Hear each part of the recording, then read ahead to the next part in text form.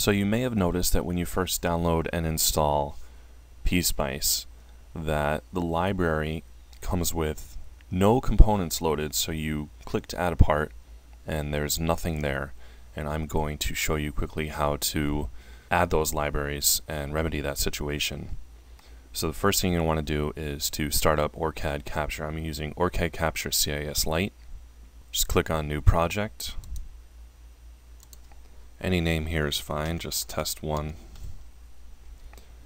Make sure that this first selection is chosen. Click OK. Create a blank project.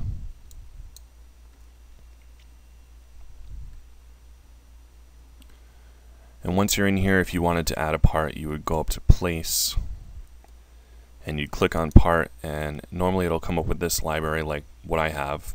It's already here because I've already loaded it, but if this is all blank here, you're going to want to click on this little, I guess it's a folder icon, Add Library. Click on that.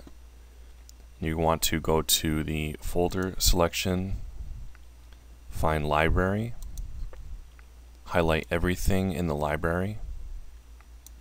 I didn't highlight this top folder. We're going to get that in a second.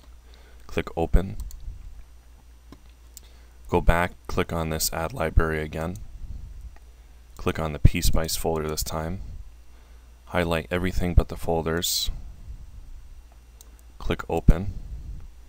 And you should have all your parts listed here. I hope this video helped you out. If you have any questions, please leave them in the comment section.